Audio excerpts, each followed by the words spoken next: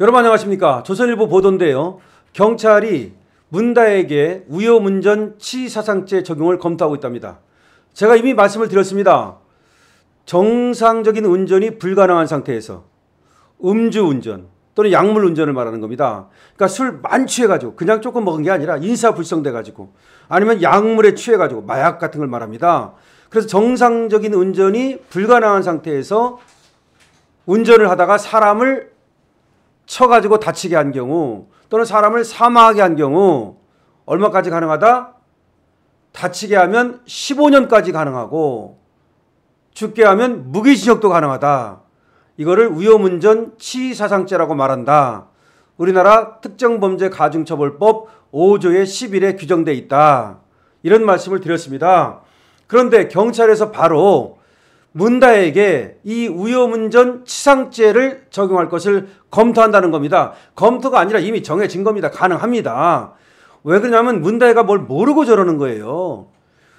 음주운전도 0.04, 뭐 0.09 이거 나오면 그냥 면허 정지당하고 면허 취소당하고 그러면 되 지만 문다혜처럼 저렇게 완전히 인사불성이 돼가지고 운전을 하다가 사람을 치잖아요.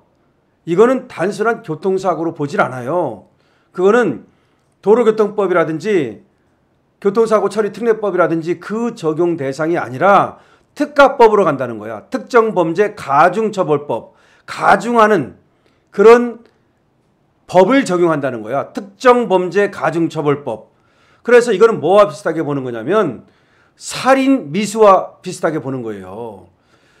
사람을 갖다가 교통사고로 죽게 했는데 과실로 죽게 하면은 그거는 그야말로 과실에 의한 거니까 그거는 도로교통법이나 교통사고 처리 특례법이나 이런 거에 의해서 그 처벌을 받게 됩니다. 사람을 죽게 해도 그야말로 구속도 안 되는 경우도 있고 심지어 뭐 또 징역형이라 하더라도 거의 집행유예가 된다든지 그렇게 됩니다. 정말 실수인 경우. 그런데 이렇게 술을 먹고 또는 약물에 취해 가지고 사람을 죽게 하거나 다치게 했다는 건 이거는 살인행위와 똑같고 살인 미수와 똑같지 않습니까? 문재인이 그런 얘기 했잖아요. 바로 문재인이 이걸 얘기하는 거거든요. 근데 자기 딸이 여기에 걸려들지는 몰랐겠죠. 그래서 문다혜를 보면은 한번 보세요.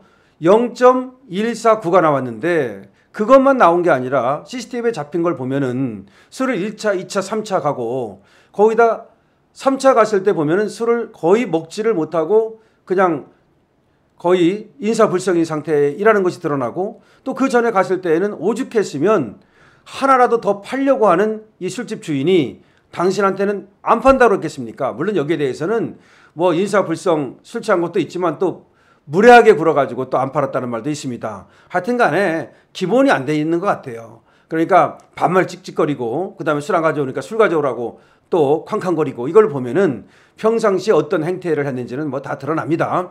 그리고 남의 차를 갖다가 문을 열려고 한다든지 그 다음에 또 옷이 낀 것도 모르고 운전을 한다든지 이거 보면 완전히 그 정도 사고가 낫기에 망정이지 더 큰 대형 사고로 이어질 뻔했다는 생각도 들거든요. 그러니까 이거는 정상적인 운전이 불가능한 상태에서 운전을 하다가 사람을 다치게 했습니다. 경상 아닙니까? 택시 운전사가. 그러니까 위험운전 치상죄가 충분히 되는 것이고요. 위험운전 치상죄는 징역 1년 이상 15년 이하입니다. 1년 이상 15년 이하. 그러니까 15년까지 가능하다는 거죠. 만약 사람이 죽었으면 3년 이상 무기징역까지 가능합니다. 이 법이 만들어진 거는 일본에서 도 먼저 2001년에 만들어졌는데요. 그때도 트럭을 운전하는 사람이 이 덤프 트럭이야. 여기 뭐 그냥 치면 다 죽는 거 아닙니까? 근데 위스키를 마시고 운전을 하다가 한 살짜리 두 살짜리 애가 그 차량에서 불에 타 죽게 만드는 그런 사고가 있었어요. 그래서 그때 강하게 처벌해야 된다는 그런 여론이 일었는데 법에 규정된 것이 법정형이 최고형이 5년밖에 안 돼. 그래서 결국 대법원에서 4년밖에 안 받는 그런 일이 벌어졌거든요. 그래서 엄청나게 이 처벌을 강화해야 된다. 우리 아, 또 윤창호법 비슷한 거죠. 그런 어떤 여론이 일어가지고 이 법이 만들어진 겁니다. 근데 우리도 그걸 받아가지고 2010년대 초반에 이 법을 만들었거든요. 그래서 실제로 이 법으로 처벌받은 예가 있어요. 그런데 문다혜가 이런 법이 있는지 뭐 몰랐을지도 모르겠습니다만은 지 아버지한테 좀만 관심 가졌으면 자기 아버지가 말이죠. 음주운전은 살인행위와 같다. 초범이라 하더라도 강하게 처벌해야 된다.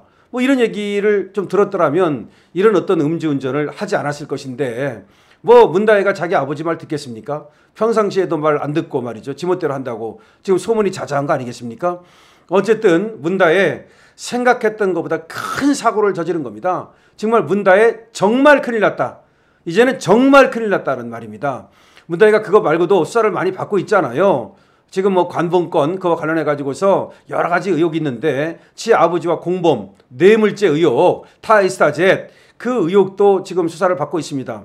원래는 그것 때문에 경찰에 출두하기로 돼 있었답니다. 근데 이 사고가 터지는 바람에 그것이 뒤로 미뤄지고 이것이 이제 경찰 조사를 받는데 경찰 조사 언제 가느냐, 오늘 가느냐, 내일 가느냐, 바로 갈 것 같은데 원래는 7일 날 가기로 돼 있었는데 그 사실이 알려지면서 뭐 조율을 한다 그러면서 뒤로 미룬 것 같습니다. 근데 경찰에서도 말이죠. 비밀리에 부르면 안 됩니다. 이 정도 되면 이거 보호해 주면 안 되는 거죠. 오히려 이렇게 음주운전을 해가지고서 위험운전 치상죄까지 적용을 하게 된다면 이건 타선지석으로 삼아야 되기 때문에 반드시 공개 소환을 해야 됩니다.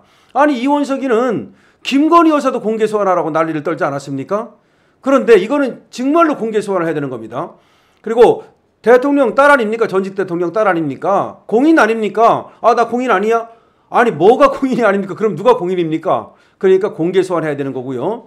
그 다음에 철저하게 이제 수사를 해야 된다. 그래서 뭐 비밀리에 어디로 뒷구멍으로 불렀다가 또 비밀리에 뒷구멍으로 나가게 하는 그렇게 해서는 안 되고요. 그리고 실제로 포토라인에 세워가지고서 아, 국민께 사과하고 자기의 잘못을 아, 사과하는 그런 모습을 보여야지 오히려 자꾸 보호해 주려고 하고 그러다 보면 경찰도 불신받고 그리고 그것이 문다한테 좋질 않아요. 그 보호해 준다고 어설프게 나서다가 말이죠. 정말 덤태기 쓰는 겁니다. 차라리 문다의 입장에서도 국민에게 진솔하게 사과하고 그리고 처벌을 달게 받겠다 이래야 국민의 어떤 들끓는 이 비난 여론을 아, 오히려 가라앉힐 수가 있는 것이고요. 문재인도 지금 아, 뭐 지금 소 삶아 먹은 아, 그런 벙어리처럼 말이죠. 완전히 이거 뭡니까?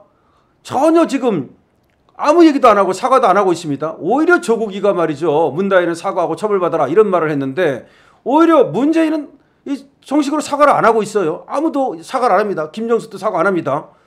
또 한동훈이도 이 문다혜한테 사과라는 말을 또 안 하는 것도 좀 사람들이 의아해하고 있습니다.